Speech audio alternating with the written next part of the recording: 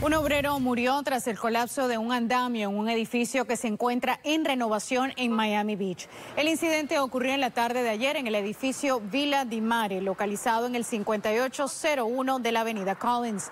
El trabajador fue trasladado en estado crítico al Hospital Jackson Memorial, donde falleció, mientras que una segunda persona sufrió lesiones menores y fue atendida en el lugar. Las autoridades no han revelado las identidades de los involucrados ni han dado ningún otro detalle de la causa del accidente.